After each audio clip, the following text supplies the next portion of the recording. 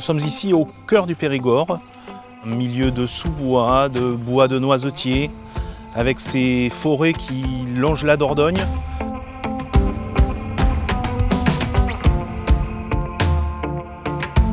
Le gris du Périgord est fabriqué à Saint-Antoine-de-Breuil en Dordogne.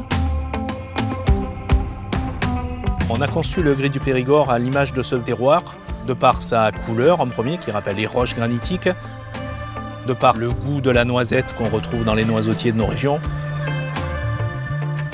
et aussi par la générosité de sa pâte très onctueuse, qui rappelle la générosité des gens de ce pays.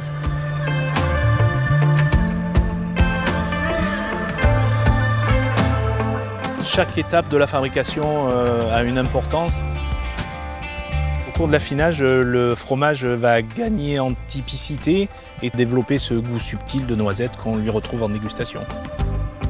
Je suis très fier de fabriquer ce fromage car c'est ma région qu'on y retrouve.